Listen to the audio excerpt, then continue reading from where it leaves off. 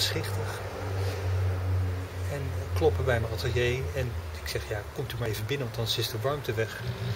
Dat vond ze eigenlijk al een enorme sprong voor maar dat deed ze wel.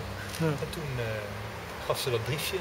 En, Ja. uh, en dan vooral door dat even te zeggen van, uh, ja, ja, dit is, ik vind het vreselijk. Nou, dan komt u toch nog eens terug, want dan komen wel andere beesten misschien wel weer op uw pad. Nee. Ja. Goedendag. Ja. En dan... Uh, Deze meneer die had ook erg veel verdriet van, de, van het doodgaan van